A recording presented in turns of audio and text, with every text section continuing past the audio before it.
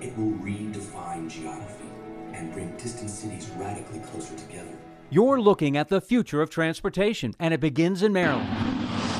The maglev train, going 311 miles per hour, will take passengers from BWI Thurgood Marshall Airport to downtown Baltimore in eight minutes, Baltimore to D.C. in 15, and D.C. to New York in an hour. It means that millions of commuter hours can be reclaimed. A House committee got a briefing on the status of the maglev from state transportation officials and project managers. We are down to uh, really three options available to the study. Uh, one is no build.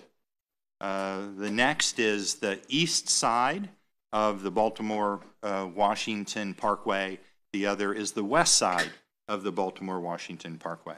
Project managers considered all route options and now prefer the east side of the BW Parkway because it wouldn't require tearing down any homes. You'd probably start construction sometime late in 2020, somewhere five to seven years in terms of construction. 75% of the maglev will be underground. There's no state funding involved. Japan is putting in $5 billion and has already signed an agreement to allow the project to use the same technology as their high speed train. Federal railroad grants will also be tapped. The maglev will create 74,000 construction jobs and 1,500 jobs after opening. The North American Building Trades Union signed an agreement to use union labor. This is a great opportunity to put many Marylanders uh, through approved apprenticeship programs. According to project managers, ticket prices will be competitive, with express rail service for similar trips along the corridor.